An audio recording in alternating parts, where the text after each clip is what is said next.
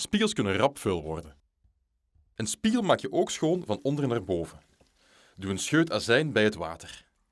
Zo voorkom je dat de spiegels achteraf aandampen. Ga met een natte spons of doek over de spiegel.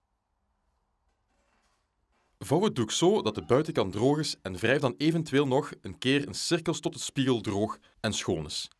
Je kunt ook wekelijks je spiegel met scheerschuim invrijven en hem dan schoon wrijven met een grote doek of handdoek om hem dampvrij te houden. Een andere truc is een beetje shampoo op je vinger te doen en een cirkel op de spiegel te tekenen. Reinig dan de spiegel met een zeemvel. Hij zal niet meer aandampen. Je ziet duidelijk dat de kant die we met scheerschuim hebben behandeld niet meer aandampt. Nu gaan we dit eens snel testen.